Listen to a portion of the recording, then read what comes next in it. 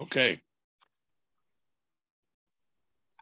You know, years ago, they used to have those pictures that were a bunch of dots, and you got it, and it'd be a landscape. And then you're told to look for it even closer and see if you could see a dinosaur or a bear or a bird or something like that. And I would stare at those pictures and stare at those pictures. And then all of a sudden, out came this picture of a, a, this white area, this clear area that was an animal. And if you just went by the picture, you wouldn't pay attention to it. Tonight's lesson is going to look at the crucifixion of Christ from a perspective of not looking at the obvious, but looking at what's behind the obvious to see the glory of Jesus in his death. And you you hard like pastor said it's hard to take a subject like the crucifixion of christ and look at it from a standpoint of being happy about it. But in one respect it's what god ordained. It's what god and jesus and the trinity planned so that mankind could be redeemed and reconciled to god and have a relationship in eternity with him.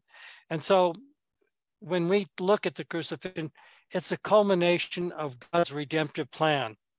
And so we're going to focus on the how these other issues, these things that are behind the scenes, uh, behind the obvious, um, really de- demonstrate the glory of Jesus as a Son of God. We're going to also pick up, and not only I've asked you to look at the four Gospels and their narrative about the crucifixion. This is the lesson that I've asked you to do this, but we're also going to go into the book of Hebrews and chapter nine and talk about some of the significance of what Jesus accomplished on the cross. Uh, in a review of previous lessons, and I have to excuse myself. I've got one good eye and one bad eye, so hard to read because I don't have the perception. So if I look like I have paper in front of my face, I do. so this was taken into custody, arrested during the early morning hours on the Friday before the celebration Passover later that evening. He was arrested by armed soldiers and officials that were sent by the high priest and the Pharisees. And led to the Garden of Gethsemane by Judas, who had taken over by Satan, received a bribe in order to betray Jesus. Now, learned that Jesus purposely allowed himself to be arrested in order to fulfill the Old Testament prophecies and God's will to complete God's plan of redemption and salvation. Jesus was then taken before the Jewish leaders, who, after three separate hearings, determined that Jesus was guilty of blasphemy and sentenced Jesus to death, even though Jesus had not committed any crime whatsoever, and Jesus was telling the truth about being the Son of God. Because the religious leaders did not want to be held responsible for putting Jesus to death on the eve of Passover, they decided to take Jesus to the Roman governor Pilate, demanding that Pilate have Jesus executed under Roman law he would be crucified instead of under Levitical law, where he would be thrown down and stoned to after examining Jesus, Pilate told the religious who brought Jesus to him, found no basis whatsoever for executing Jesus. However, the religious leaders continued to pressure Pilate to carry off their demands to crucify Jesus. When Pilate learned that Jesus was from Galilee, which was under the jurisdiction of Herod Antipas, he sent Jesus to Herod. Before Herod, Jesus was really mocked. Herod was not interested in whether who Jesus really was. He just wanted to be entertained. He was looking for Jesus to perform miracles for him. Jesus remained silent and did not respond to Herod. And therefore, Herod put on a royal robe ridiculed Jesus by dressing him in this robe in Jesus and having his soldiers strike him in the face before sending him back to Pilate. Pilate attempted to avoid being held responsible for deciding Jesus' fate by sending Jesus to Herod, but that didn't succeed, and he this was before him a second time. Finding that Jesus had not committed any offense which merited Jesus being crucified, Pilate again attempted to avoid responsibility for crucifying Jesus. But pressured by the Jews who were blackmailing him about going over his head to Caesar, forced Pilate to give in to their demands. And Pilate then handed Jesus over to be crucified. Now remember, both on Jewish law and Roman law, there had to be at least two days between a judgment and sentence and the execution of the judgment and sentence. Jesus was not allowed under Jewish law or Roman law two days. They immediately turned him over to the Roman guards to be crucified. So, and having reached the point where Pilate turned Jesus over to his Roman soldiers to crucify Jesus, we have been spending the last few weeks talking about the crucifixion of Christ. Um, in the first lesson about the crucifixion of Jesus, we focused on how the events surrounding the crucifixion of Christ fulfilled Old Testament prophecy. Tonight, there's going to be a couple of other Old Testament prophecies that were fulfilled by the death of Jesus. In the second lesson about the crucifixion of Jesus, we focused on the three hours of darkness from noon to three o'clock in the afternoon when God poured out his wrathful his and his punishment on Jesus, who took upon himself this of all those who God called unto salvation. Tonight's lesson is the third and the final lesson about Jesus and his crucifixion. When we think about the crucifixion, we're inclined to focus on the obvious, the physical suffering of Christ, Christ taking on himself the wrath of God, and finally his death. In doing so, we often overlook other events which took place while Christ was on the cross and immediately after Christ surrenders life to death. These events not only reveal the glory of Jesus as the Son of God sent for our salvation from the wrath of God, but manifest Jesus' power and sovereignty, his love, and the completion of his earthly ministry of love. And I already mentioned it reminds tonight's lesson reminded me of those pictures where you'd look at it and you'd see a landscape, but if you look closer, out from the picture came a sacred or uh, pick uh, an animal or a bird.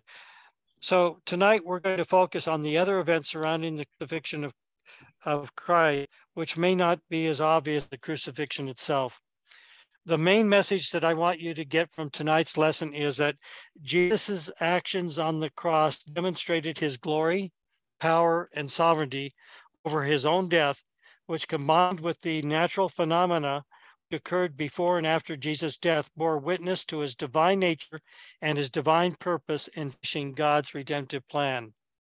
The outline uh, the study itself is going to be by not emphasizing Jesus' suffering, pain, and humility and the wrath of God while he was being crucified, the Gospels emphasize the glory, power, and sovereignty of Jesus over his own death. So we're going to break it down into three parts. By calling out and sur- surrendering his spirit, Jesus demonstrated his power and sovereignty over his own death. The second part we're going to talk about is the miraculous signs which took place before and after Jesus' death bore witness to his divine nature. Third, we're going to talk about Jesus' death ended the Old Testament sacrificial system and gave direct access to God and salvation to those who believe. And then we're getting discussion questions that are going to expand our understanding of what we're going to talk about tonight. So let's get into the study itself by not emphasizing Jesus' suffering, pain, humility, and the wrath of God while he was being crucified, the Gospels emphasize the glory, power, and sovereignty of Jesus over his own death. So the first son is by calling out and surrendering his spirit, Jesus demonstrated his power and sovereignty over his own death. We're going to read from Mark chapter 15, verses 33 through 37. At the sixth hour, darkness came over the whole land until the ninth hour. And at the ninth hour, Jesus cried out in a loud voice, Eloi, Eloi, lama sabachthani, which means, My God, my God, why have you forsaken me? When some of those standing near heard this, they said, Listen, he's calling Elijah. The one man ran, filled a spun with wine vinegar and put it under his stick and offered it to Jesus to drink. Now leave him alone. Let's see if should be Elijah, not Elisha. I'm sorry, it's misspelled there. Comes to take down. With a loud cry, Jesus breathed his last. In John 19, verses 28 through 30, covering the same time period, later, knowing that all was now completed, and so that the scripture would be fulfilled, Jesus said, I am thirsty. A jar of wine vinegar was there, so they soaked a sponge in it, put the sponge on a stalk of hyssop plant, and lifted it to Jesus' lips. When he had received the drink, Jesus said, It is finished. With that, he bowed his head and gave up his spirit. Now, as we discussed before, death by crucifixion involves a slow, painful death where the prisoner suffers from exposure, dehydration, heart failure, and finally suffocation. During the process of being crucified, as you're hanging on the cross, in order to be able to breathe, it gets harder and harder. You have to push feet that are nailed down to the wood and cross, and that's a painful uh, effort, but you have to lift yourself up so you can breathe. And so th- that got tiring. The person got dehydrated. Ultimately, he lost. He was so feeble he couldn't even have the strength to push himself, and he would just finally suffocate to death. Toward the end, the prisoner on the cross becomes completely helpless, feeble, weak, and listless. Many on the cross approached insanity and no longer able to speak or interact with anything around them. They just lapsed into their world before they suffocated and died. Most prisoners who, who were crucified took days to succumb to their eventual death. Jesus uh, died after being on the cross for six hours. Even Pontius Pilate was surprised that Jesus had died. In Mark chapter 15, verses 42 to 44, it was preparation day. That is the day before the Sabbath. So as evening approached, Joseph of Arimathea, a prominent member of the council, who himself was waiting for the kingdom of God, went boldly to Pilate and asked for Jesus' body. Pilate was surprised to hear that he was already dead. Summoning the centurion, he asked him if Jesus had already died. Two prisoners being crucified next to Jesus were still alive and more likely would have survived for another day or so. In order to hasten the death of the two other prisoners, the Roman soldiers were required to use a large wooden mallet, and they would slam and break the femurs of the prisoners that were on the cross so they could no longer lift themselves upon up on, in order to breathe and would quickly come to suffocation. John 19, 31 through 33 talks about this. Now it was a day of preparation, and the next day was to be a special Sabbath, a Sabbath which followed the celebration of Passover. The Jews did not want the bodies left the crosses during the Sabbath.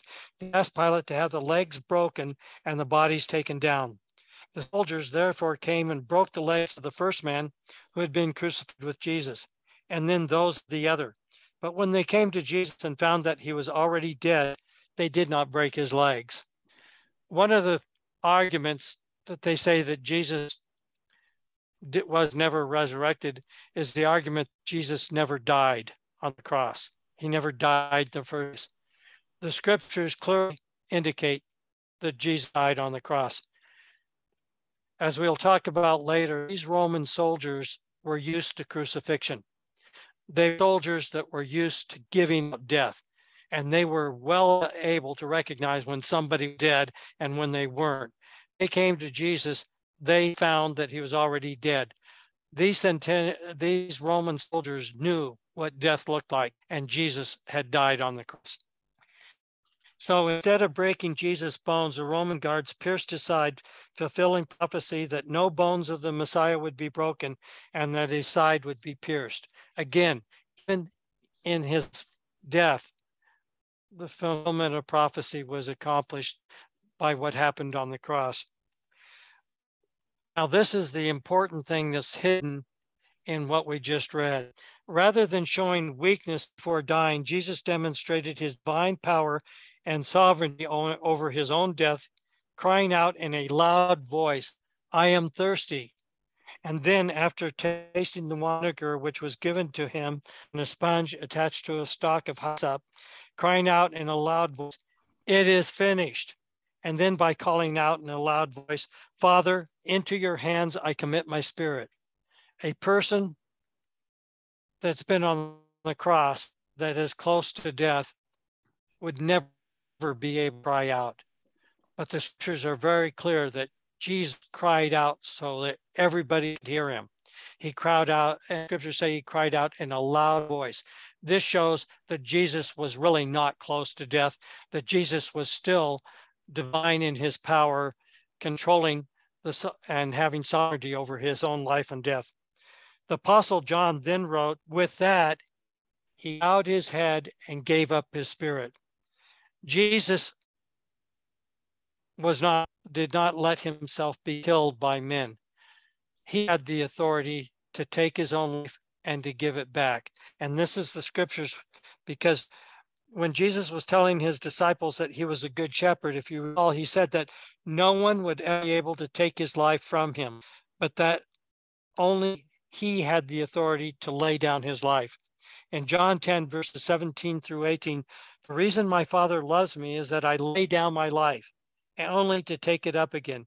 No one took it from me, but I lay it down of my own accord.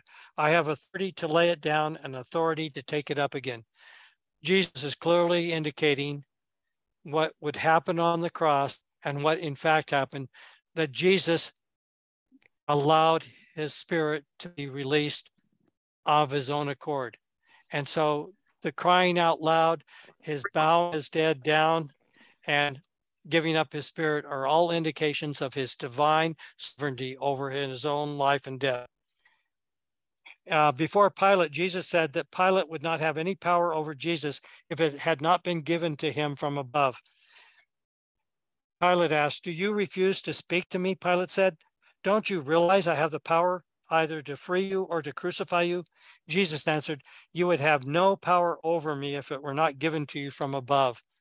Jesus is talking about divine power, divine power demonstrated in his giving up on his own accord his life on the cross. Now, in addition to that, the miraculous signs and events before and after Jesus' death bore witness to his divine nature. The Roman soldiers who were responsible for crucifying Jesus, as I mentioned before, were experts in administering that cruel form of punishment. They had administered death by crucifixion numerous times and had vast experience in watching prisoners suffer as they slowly succumbed to death. Never before had they had witnessed the miraculous sign of three hours of darkness taking place in the, the day before Jesus died, nor had they witnessed the earthquakes which followed. Two miraculous events that took place. Three hours of darkness at noon during the midpoint of the day, and followed by Jesus' death and an earthquake. Nor had the Roman guards ever witnessed a person being crucified, being give testimony about another about another person being crucified, receiving a promise of being with Christ in paradise after he died. Jesus had said when he first was placed on the cross, Father, forgive them, for they do not know what they're doing. He was talking about the Roman soldiers that were crucifying and asked God to forgive them. Two prisoners that were being crucified with Jesus were hurling insult at Jesus, just like all the rest of God. But one of them, during that, changed his tune. He looked at Jesus and he said to the other prisoner, Jesus doesn't deserve to be crucified. We do. We're criminals. And then he asked, Jesus, remember me. Jesus, that was a plea for salvation and a repentance, recognizing his own sin. Jesus said, Surely today you'll be in paradise with me. Jesus gave witness on the cross to the salvation of the prisoner while he himself was dying on the cross. Then the last thing nor Roman soldiers ever witness a person who was about to die on the cross being able to cry out in a loud voice the words spoken by Jesus immediately before he surrendered his life. All of these things that Jesus did on the cross, they were being observed by the Roman centurion and the guards that were guarding Jesus. Now, they've watched a lot of people die, and that's not what people do when they die on the cross. They suffer, they become listless. They're not concerned about anybody else. They go into their own world. Yet Jesus did everything different dying on the cross. And so when Jesus died, he surrendered his life. The centurion, seeing what had happened, praised God and said, Surely this was a righteous man. That was from Luke 23 7. In Matthew 27, verse 54, when the centurion and those with him who were Jesus saw the earthquake and all that had happened, they were terrified and exclaimed, Surely he was the Son of God. The very nature of what happened during the crucifixion bore witness that Jesus was the Son of God. And the Roman guards, having all their expertise in watching people die on the cross, proclaimed that this is unusual. The earthquake's unusual. And in terror, they said, Surely this man is the Son of God. Even now we go to one more step that shows the divinity of Christ during his crucifixion. Even the crowd who witnessed Jesus' crucifixion had second thought about Jesus's divine nature. Reading from Luke 23, verse 48, when all the people who had gathered to witness the sight saw what took place, they beat their breasts and went away, pounding their breasts. That's a sign of regret, of, of a second thought about who Jesus was the time that Jesus was on the cross, the crowd was mocking Jesus, saying, maybe Elijah will res- Elijah will come and rescue you from the cross. Let's give you more wine vinegar so that maybe we can prolong your life and see Elijah come and rescue you. Or if you're God, why don't you come down from the cross yourself? They're mocking him. But when Jesus and the earthquake and all these have, have crowd left away, pounding their chest. So anyway, the um, before, as I mentioned, before the crowd that had gathered around the cross beforehand, they mocked insulted Jesus. In Mark 15, 29 through 30, the scriptures say, those who passed by hurled insults at him, shaking their heads and saying, so you who are going to destroy the temple and build it in three days, come down from the cross and save yourself. Again, after observing everything that happened, the crowd left with second thought in their mind, beating their own chests. How much more evidence do we need from the gospel of the divine nature and the glory of Christ being shown on the cross by not what Jesus did in giving salvation to one of the prisoners, by Jesus crying out loud before he died, the miraculous events that occurred surrounding his death. The crowd, after seeing all this, they begin to have thoughts about who Jesus was. And the Roman guards themselves said, See, this is surely the Son of God. So, with that, we get to the last part of our lesson, and that Jesus' death ended the Old Testament sacrificial system and gave direct access to God and salvation to those who believe. After Jesus surrendered his spirit and died, the curtain at the temple was torn apart from top to bottom. Um, it was three o'clock in the afternoon. Why is that important on this particular day? It's because the priests were back temple slaughtering all the lambs that would be used by the families that were from Jerusalem to celebrate Passover. So they were busy sacrificing lambs. And that from three to six is when they did these, they slaughtered the lambs for Passover feast. Who died at three o'clock? Jesus Christ. He is the Passover lamb. Um, Amen. Jesus, as the scriptures say, Jesus was the Lamb of God sacrificed once and for all to atone for the sins of those who believed in him. So God's wrath, judgment, and punishment for sin would pass over them that they would receive eternal life. The tearing of the veil in the temple symbolized the elimination of the Old Testament sacrificial system and opened direct access God for all those who believe. When Jesus died and the curtain between the holy and the most holy was torn open, that even before the end of the temple, as far as the Old Testament sacrificial system, it was no longer useful. It was gone. Jesus replaced it by being the Lamb of God sacrificed to atone for the sins of mankind. Now we're going to read from Hebrews, which talks about the end of the Old Testament system by Jesus' death on the cross. Now, the first covenant had regulations for worship and also an earthly sanctuary. A tabernacle was set up. In its first room were the lampstand, the table, and the consecrated bread. This was called the holy place. Behind the second curtain, this is the curtain that was torn after Jesus died was was a room called the most holy place, which had the golden altar of incense and the gold covered ark of the covenant. This ark contained gold jar of manna, Aaron's staff that had budded, and the stone tablets of the covenant. Above the ark were the cherubim of the glory, overshadowing the atonement cover. That was the mercy seat. But we cannot discuss these things in detail now.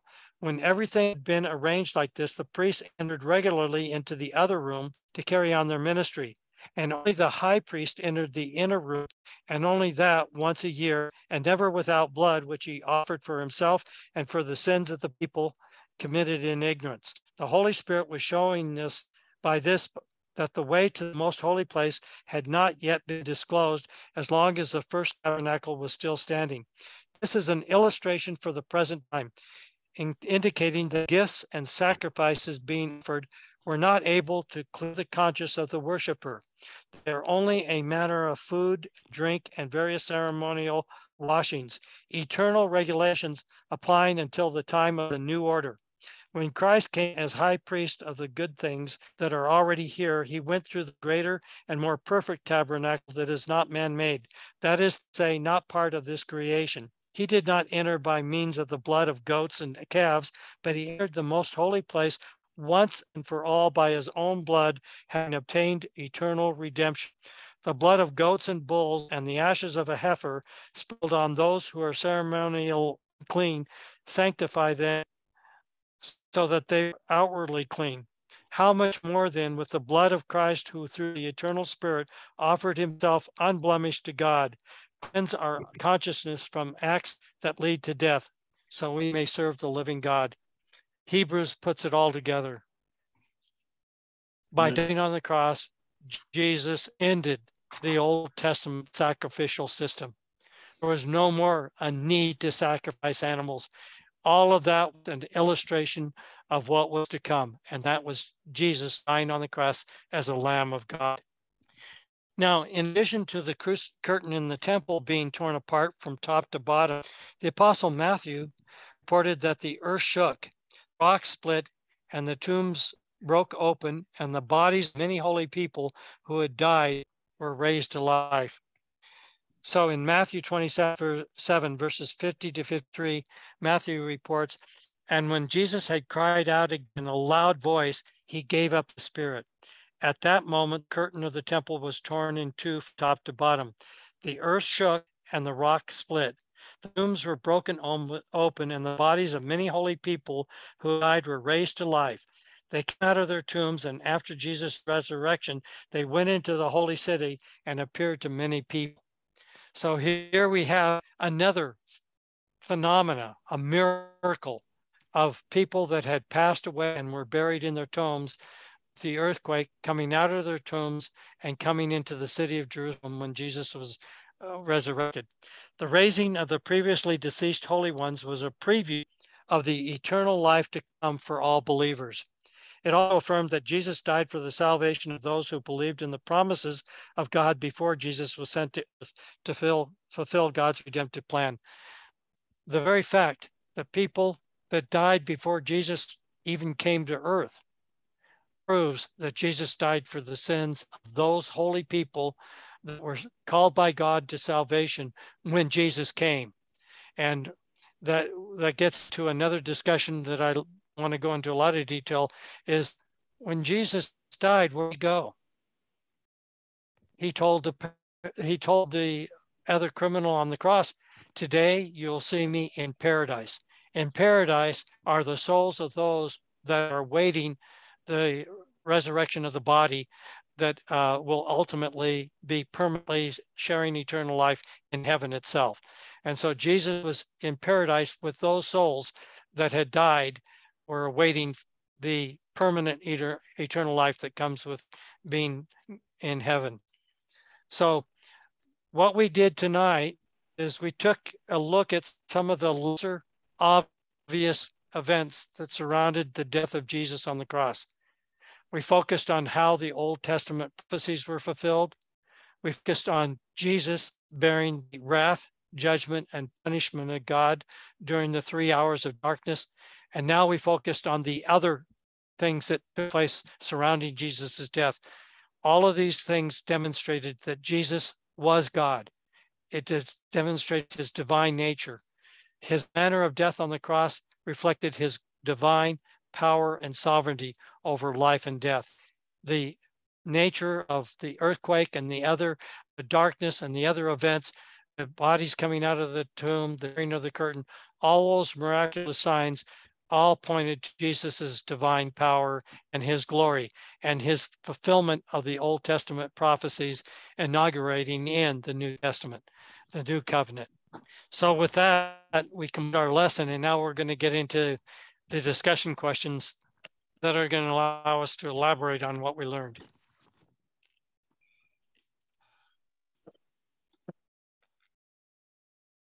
Oh, no. Oh.